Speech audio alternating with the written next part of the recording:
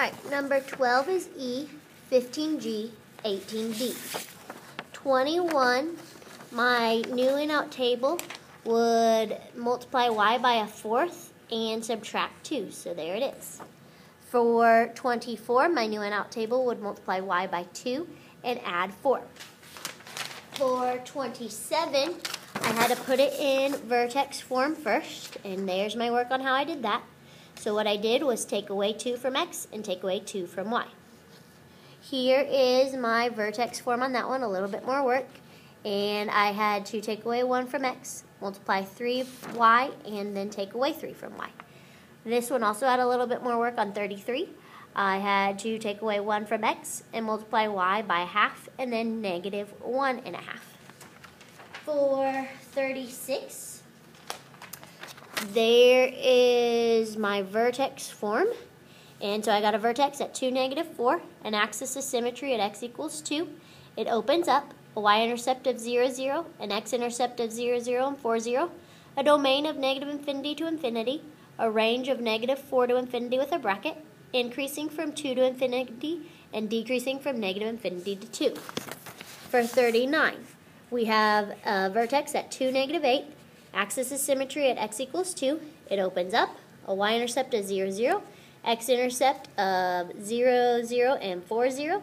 Our domain is negative infinity to infinity. Our range is negative 8 to infinity with a bracket. We're increasing from 2 to infinity and negative infinity to 2. 42, we have a vertex at 1, negative 4. We have an axis of symmetry at x equals 1. It opens up. We have a y-intercept at 0, negative 3, an x-intercept at 3, 0, and negative 1, 0.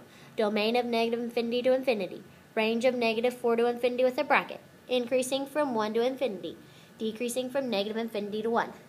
45, we got a vertex at a fourth and then 1 and 7 eighths. Our axis of symmetry is x equals a fourth. It opens up. Our y-intercept is 0, 2. Our x-intercept, there is none. Domain is negative infinity to infinity.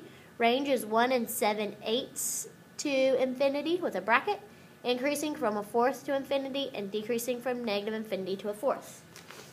448. We have a vertex at a half and negative 1 and 1 fourth. Our axis of symmetry is x equals a half. It opens down. We have a y-intercept at 0, negative 2. There are no x-intercepts. Our domain is negative infinity to infinity. Our range is negative infinity to negative 1 and a fourth of the bracket. We're increasing from negative infinity to a half and decreasing from a half to infinity. For 51, we had to do a little bit more work to get to vertex form, but our vertex is negative 3 fourths and then 4 and a fourth. Our axis of symmetry is x equals negative 3 fourths. We open down. Our y-intercept is 0, 2. Our x-intercept is 0.280 and negative 1.780. Our domain is negative infinity to infinity.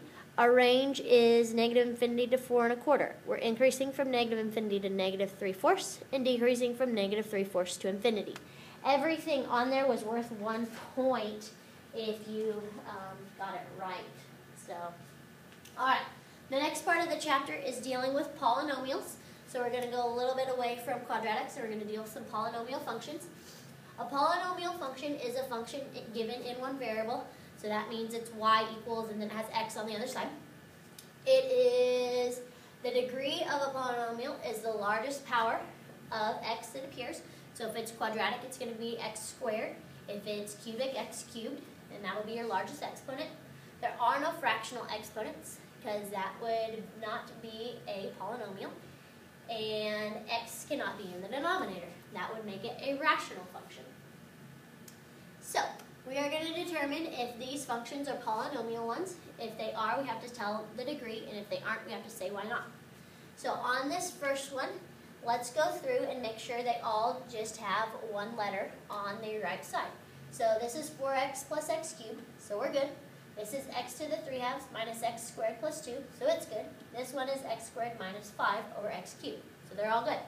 So then you have to decide, okay, does this have a fractional exponent? 4x plus x cubed does not.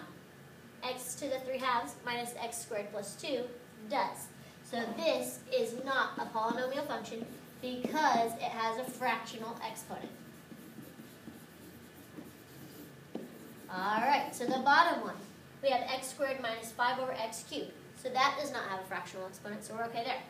So then you got to look for when x is in the denominator. This doesn't have a denominator, so it's good.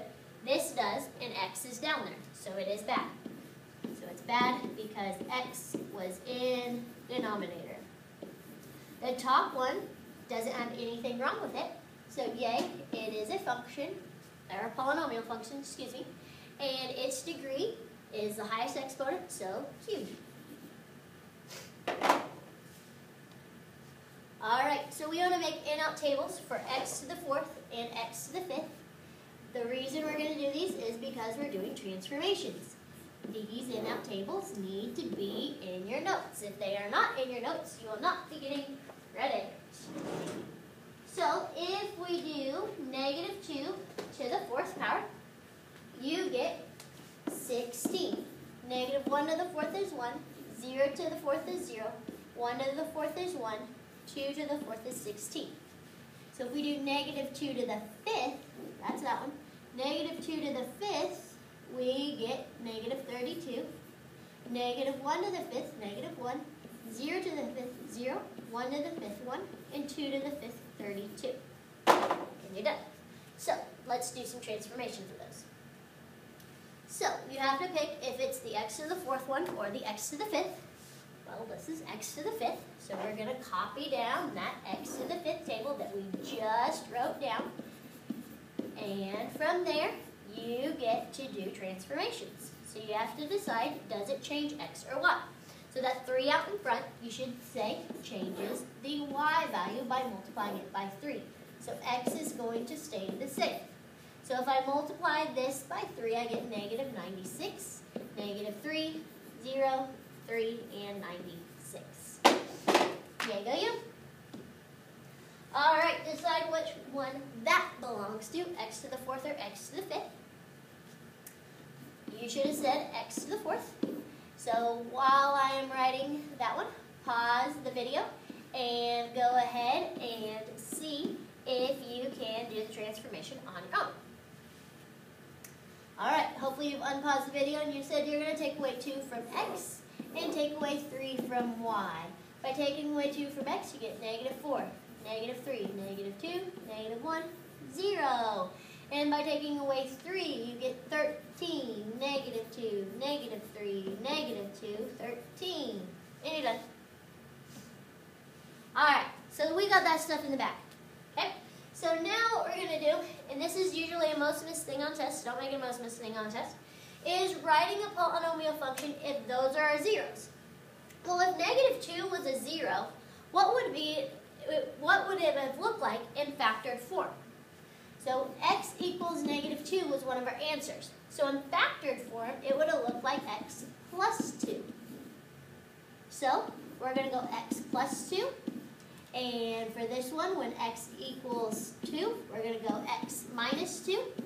And for this one, when x equals 3, we're going to go with x minus 3.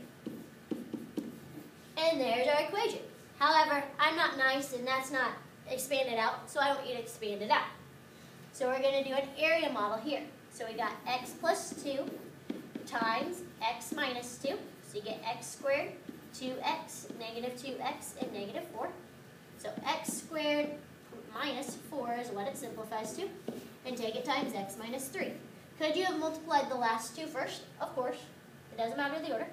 So we got to do another area model.